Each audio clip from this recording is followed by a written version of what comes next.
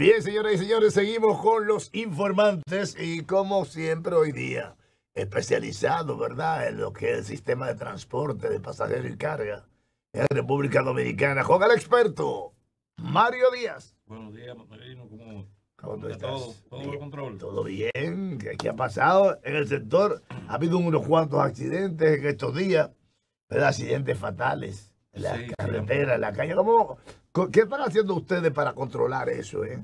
Muy lamentable. Son casos eh, que se salen del control, ¿verdad?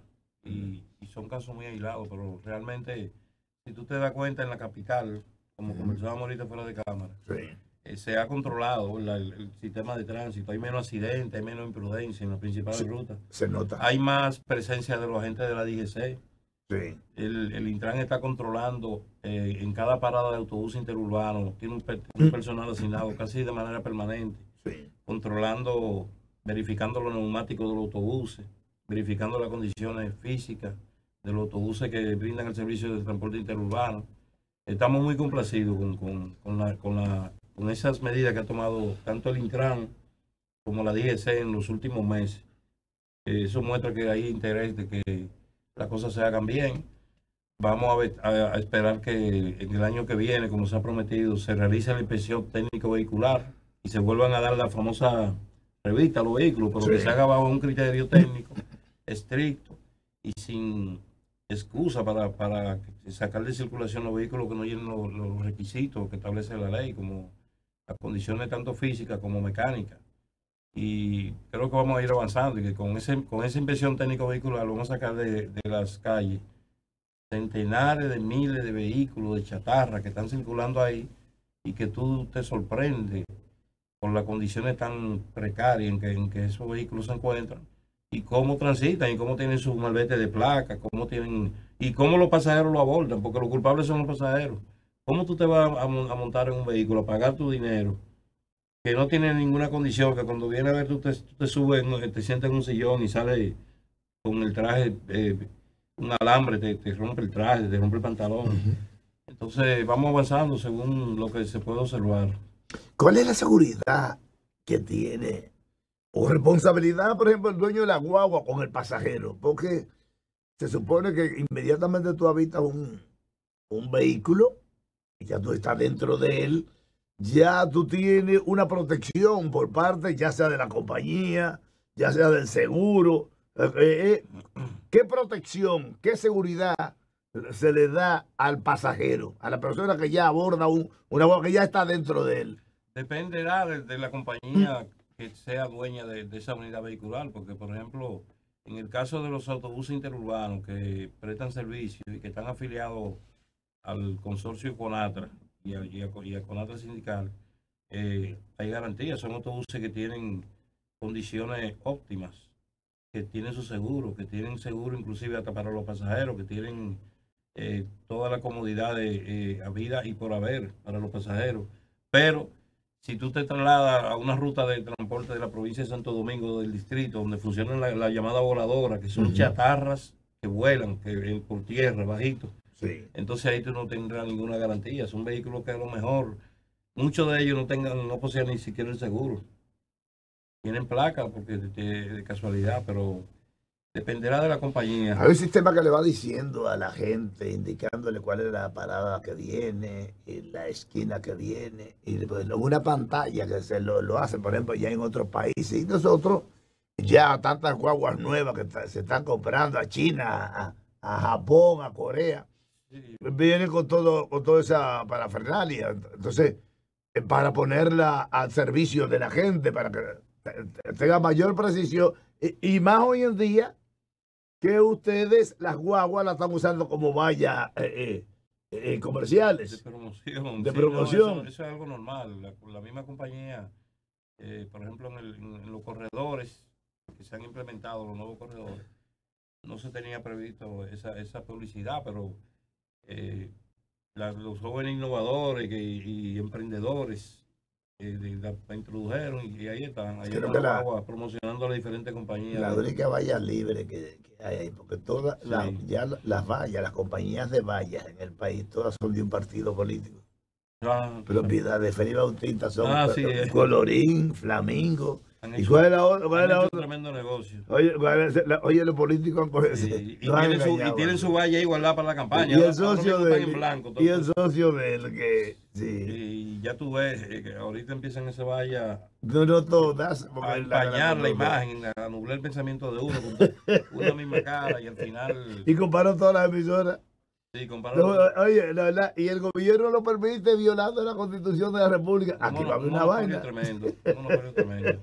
Aquí hay una Mira, eh, en eso, por ejemplo, de, la, de tú abordar, por ejemplo, una guagua, un vehículo que ya tú estás dentro de él, pues tú tienes que tener alguna orientación. Aquí no se hace nada de eso, pero si vamos a ir avanzando en, términos, en la modernidad y en términos de exigirle incluso al gobierno respaldo para vehículos nuevos y todas esas cosas, pues tienen que darle algo a la, a la sociedad para que el pueblo sepa que la inversión que hace el gobierno, que la inversión que hace el gobierno para, eh, para eh, modernizar el sistema de transporte, ¿verdad? Pues eh, se le está dando a cambio de un buen servicio al, al ciudadano, que es el que está pagando eso. Claro, ¿no? Pero con relación a ese tema, los corredores que se están implementando, porque aquí hay un, un asunto de las condiciones de los vehículos que se han utilizado para el transporte de pasajeros.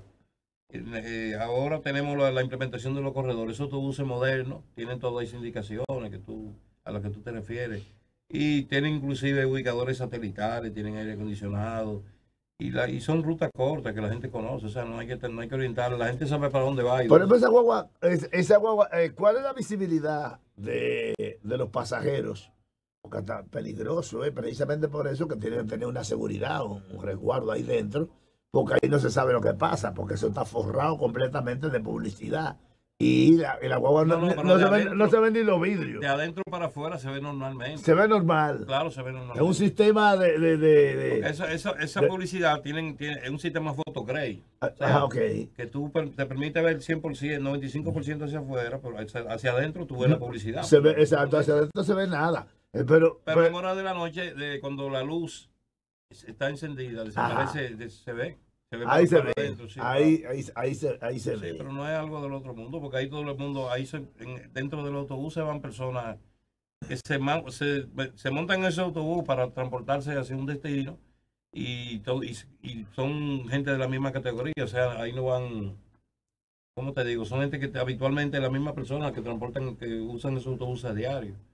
Tú tienes tu vehículo, tú usas Sí. tu vehículo a diario, pero hay gente que usa la ruta a diario como un medio de transporte para ir a sus lugares de trabajo, a sus lugares de estudio, a trasladarse ahí dentro de una ruta corta. ¿Y cómo esa, cómo esa publicidad eh, que, que forran completamente eh, el vehículo y, y- paga mucho dinero eso? No, esa parte no la, no lo manejo. Pero hay- el- no, de- no, no, y eso no debieran también eh, contribuir a, a que bajen lo- los precios y todo, porque siempre el gobierno tiene que dar dinero, ¿verdad? Pero si, si usan los vehículos, por ejemplo, eh, eh, ya para servicio publicitario, ¿verdad? Pues deben bajarle eso, no debiera, por ejemplo, el gobierno está pagando subsidios y cosas de Me eso. imagino que esa publicidad también la maneja el fideicomiso que administra los recursos que, re- que se recaudan por, por el pago del pasaje. O sea, esa parte no la manejo. Por ejemplo, mira, por ejemplo, hay una, hay una parte, y estamos hablando, por ejemplo, de, de- de autobuses privados, como son los de lo que tiene la Conatra y otras instituciones como Caribe Tour, ¿verdad? Ivonne Montedioca allí, es José Hernández, eh, lo- eh, ¿cuál es? la Metro, que ahora está inaugurando también un, eh, un solar ahí modernísimo, eh, creo que por la Churchill, creo que Sí. el- la Metro. Entonces, pero la ONSA, en el caso, por ejemplo, de la ONSA, que eso es, eso es mantenido todo por el gobierno, desde, desde, desde, desde la varilla inicial hasta la pintura final, como dice, como decía una publicidad hace tiempo. Entonces, ¿quién maneja? Porque es muy difícil que el gobierno pueda manejar esa, ese negocio de publicidad ¿verdad? Porque tendría que poner una persona encargada de, de eso, ¿eh? de manejo de publicidad, de ese negocio publicitario con cosas que son propiedades del gobierno para que eso esté claro, porque si no, va a haber un fraude ahí va, ahí va a haber eh, eh, corrupción en el manejo de ese dinero y de la venta de esa publicidad. Porque eso estamos hablando de la onza, que eso es absolutamente, eso es todo del gobierno, en su totalidad, del Estado dominicano, que es que compra la guagua, le da mantenimiento, le da un subsidio. Creo que son, cada pasajero. creo que son como 80 millones de pesos o más, como, como 100 millones de pesos mensuales. Según el, un estudio que hizo eh, la gestión del pasado ministro de la presidencia Macarrulla, en un programa de televisión lo vi expresarse en ese sentido y dije, decía en ese entonces, hace como un año, que el gobierno subsidiaba cada pasajero con 80 pesos. Cada pasajero que se montaba en la onza, ah. El gobierno se lo subsidiaba con 80 pesos. O sea que eh, me imagino que para los diferentes gobiernos, la onza ha constituido un tremendo problema que, ha, hecho gastar el presupuesto nacional miles de millones de pesos para resolver mínimamente un problema de, interés nacional, de, orden público, como es el, problema del tránsito de, pasajeros, del transporte de pasajeros, el caos, el, déficit de asientos, pero que al, final eh, ha salido más a sal que el chivo. Ahora, la ONSA se ha utilizado como un instrumento político, una institución que tiene miles de empleados. Yo, yo decía que era un, un, exceso. Yo decía que, había, que allí había una nómina parasitaria. Sí, así es. Demasiados empleados. Así es, No se justifican lujosos sueldos. Y al final, eh, si tú haces una comparación con lo que, con lo, con lo que produce la ONSA y lo que se gasta en la operación de esos autobuses, es mejor privatizar ese, ese, ¿Y quién está dirigiendo ahora la ONSA? Que está calladito y comiendo callado. Comiendo callado. Eh, eh, Él es diputado Radamés González. Eh, Radamés González. Que aspira a la alcaldía, yo creo, de Santo Domingo Oeste. Y así quien no, con tantos cuartos. Pero maneja, maneja, mucho dinero. Mira, hay, hablando de corrupción, ese, el, por ejemplo, en el caso de, de la ONSA, ¿por qué sale por 80 pesos un pasajero. Porque a ustedes les sale así, por ejemplo, en el sector privado. Mira, en el, pasajero, el, según los estudios que han hecho el Banco Mundial y, diferentes instituciones internacionales en el país, nosotros mismos sabemos que el costo de un pasajero eh, anda por los 80 pesos. Nosotros cobramos 35 pesos. El gobierno subsidia una parte del combustible que se usa en los autobuses esa publicidad que tú dices que, se pagan, la mayoría de los autobuses tienen su, y se busca la forma de compensar esos 80 pesos. Pero siempre el, transporte se opera con un margen de déficit. Pero al final no es rentable para tú sustituir flota ni nada de eso, a menos que sean la flota del transporte interurbano que tienen otro costo, que sean las flotillas que se usan para transportar el, transporte de personal de las empresas que tienen un costo, ahí, ahí es rentable el, transporte. Cuando hay eh, excursiones de, turistas, el, transporte turístico. Entonces, la compañía que tiene transporte turístico, transporte de personal, transporte interurbano, también tiene el transporte eh, de pasajeros normal en la provincia y en, las provincias. Entonces, ahí con, con, la, lo que genera todo, todo ese sistema, ¿verdad? Entonces se compensa un transporte con el otro, pero realmente el transporte no es rentable y el caso de la ONSA lo, establece. Y el caso del metro lo establece. Pero eh, lo que digo, por ejemplo, con ese manejo de dinero que no está controlado, que no es muy claro con el asunto de la publicidad, ¿verdad? Creo la publicidad también, las paradas también la maneja la ONSA, a menos que no haya... hay publicidad también. Eh, las, paradas, las paradas de guagua en, los diferentes eh, puntos ahí hay hasta pantallas. Pantallas eh, donde hay publicidad constante y eso es un dinero constante. Yo, ¿Quién maneja eso en la cada, cada, cada, institución tiene un departamento de relaciones públicas y de publicidad. sí, pero, espera, sí, pero espera, que es un negocio. Ahora sería importante investigar. Tú estás hablando de un negocio, tú estás hablando de un negocio dentro de mi negocio. Entonces, ¿cómo, es, cómo se maneja eso? Que yo quisiera saber. ¿Cómo se maneja en la ONSA en los cuartos de la publicidad. Es eh, importante investigar eso. Porque está, lleno, está lleno de publicidad por todos lados. Y entonces, como el gobierno no tiene eh, departamento para manejar eso, porque el gobierno es el gobierno y es flash, ¿verdad? La onza. ¿Cuánto hay que dar la onza? Se subsidia como con 100 millones de pesos mensuales a la onza, además de lo que la onza cobra, que también se quede en la onza, ¿verdad? ¿Qué está pasando con y ya nosotros, y como uno conoce, una vez a alguien que, que hasta la gasolina la repartía, él vendía una parte y tenía. Wow, en esa y, compraba, y compraba goma. Era, hasta socio de, una, de, un sitio que vendía goma. Mira, sería muy interesante eh, ahora que se crea una incógnita en nosotros. Sí. Y, y, que tenemos un instrumento como la ley 200-04 sobre el libre acceso a la información pública. Yo me voy a comprometer en los próximos días a solicitar esa información para saber qué está pasando ahí. O sea, qué está pasando con esa publicidad, quién la maneja, cuánto se ha recaudado por ese concepto y, dónde va ese dinero.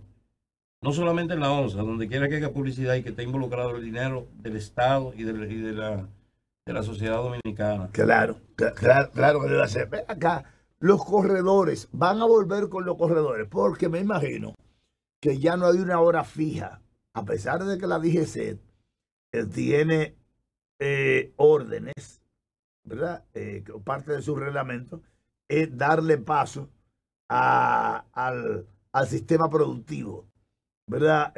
Como es la carga y el pasajero.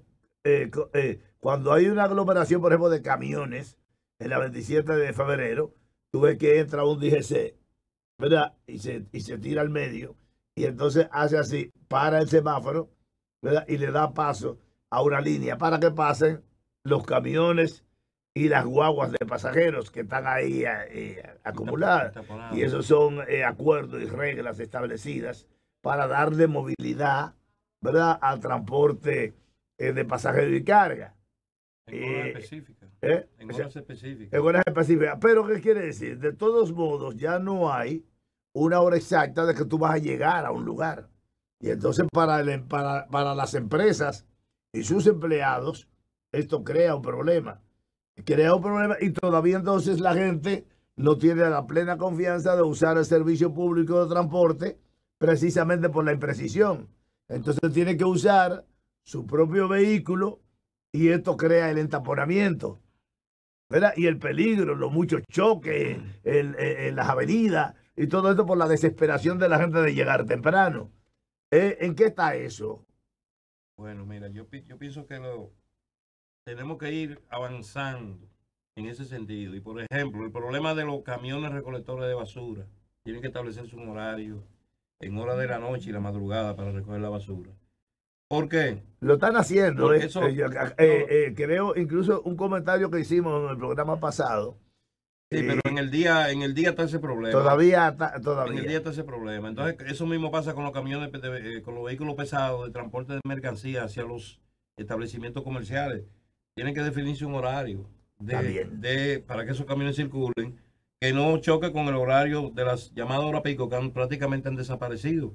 Porque tú te encuentras con tapones desde las 6 de la mañana hasta las 12 del día, cualquier hora del día, de la tarde. No hay, no hay una hora específica para que tú te, encuentres con, un tapón. Entonces, si, reglamentamos el horario de circulación de los vehículos pesados, con eso eliminamos ese enorme caos que se forma. Pero no hay una hora específica para que el, suplidor de un almacén lleve una patana llena de sacos de arroz, de latas, a un, sitio específico. A un supermercado. Y para el, vehículo en el medio de la calle para desmontar. Los ah. esos que venden botellones de agua, tú ves que, es un desorden. Los camiones de la ferretería, el camión de la basura. Entonces hay que reglamentar un horario. Porque tenemos que ordenar la sociedad de una manera que nos permita tener eh, el muy bueno, Muy buena observación por parte tuya. Eso está incluido dentro del programa de gobierno que nosotros vamos a presentar eh, como, como candidato, precandidato alcalde de la, del municipio de Santo Domingo ah, A ah. propósito de que ya la Junta dijo, anunció antes de ayer, que de los partidos que habían solicitado eh, su, su, conformación, su reconocimiento ante la Junta, el partido Primero la Gente, PPG, al cual nosotros pertenecemos y que lideré Antonio Marte, era uno de los cuatro partidos que habían completado su expediente y que próximamente se iba a pedir su. Pero ustedes van a ir, eh, van a ir. la exigencia humilde eh, que yo hago es que de que si nosotros le damos dinero de, la, de lo, del dinero del erario público, ¿verdad? Eh, de la, del dinero del pueblo, de la gente, ¿verdad? A un pequeño partido, es para que ese partido nos dé una opción de que si no queremos votar por él, votamos por él. ¿Verdad? Entonces ese partido está obligado a ir a las elecciones de manera libre, independiente, por lo menos en la primera vuelta. Porque ya en la segunda, que es descalificado porque ya no, no sacó la cantidad de votos necesarios, pues ya ahí puede apoyar a cualquiera. Pero es una falta de respeto, una corrupción, un abuso por parte de, autoridades y, de políticos y de pseudo eh, eh, políticos, de pseudos líderes, el cogerle dinero al Estado eh, luego vendérsele a un partido por uno cuarto y después exigirle a ese partido que le dé un puesto eh, para seguir engañando y meter botella en, una, en, una, en un ministerio o una dirección eh, del, del organigrama del Estado. O sea que yo espero que la Junta Central Electoral, ¿verdad? Cumpla con su deber, con su responsabilidad frente a la sociedad dominicana y exija que todos los partidos tienen que ir a, la, a la primera vuelta, todos tienen que ir solo. Nadie puede cogerle, robarle un dinero a la población y luego venderse de que a un partido y el dinero que le dieron. El descaro, la vergüenza, por favor, tenemos que recobrarla. Recuérdense, eh, miembros de la Junta Central Electoral y, miembros de, partidos eh, con mucha influencia y con mucho poder en el país. Ustedes tienen padre y madre que le dieron una educación y ustedes no deben traicionarla. Porque además así también va a ser sus hijos. Usted tiene que respetar el dinero que le da la, que le da la sociedad dominicana para que usted sea una opción dentro en una en una en un certamen electoral, ¿verdad? Y entonces por lo menos en la primera vuelta todos deben ir de manera independiente. ¿eh? Y si quieren apoyar ya en la segunda vuelta, pues ya eso está a opción de, opción de ellos. Pero en la primera vuelta, todo el que recibió dinero eh, del, Estado Dominicano tiene que cumplir con el deber de ir solo a las elecciones. ¿Eh? Y si no, que devuelve el dinero. Eh, señores, vamos a seguir hablando con Mario, con Mario Díaz, de, de la parte del transporte en este su programa. Seguimos con los informantes.